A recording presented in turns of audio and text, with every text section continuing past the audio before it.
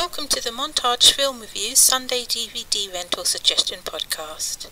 Today's film is a remake of a Japanese film by the same name, which unfortunately I have not yet seen.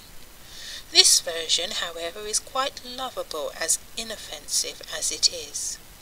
If you're looking for a nice film with some elements of comedy and that feel good factor in abundance, then I would recommend Shall We Dance?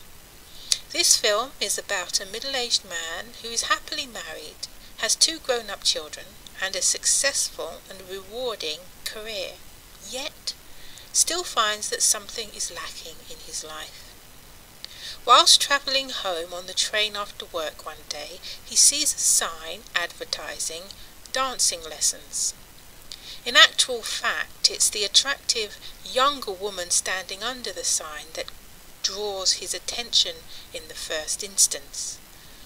Once, however, she makes it quite clear to him that she is a no-go area as far as he is concerned. He truly embraces dance as a pastime that he keeps secret from his family and work colleagues. And that is basically it. Get the popcorn out. If you visit the website and take advantage of the Montage Film Reviews offer to sign up to Love Film, you can instantly stream this film online, enjoying your first month's subscription for free.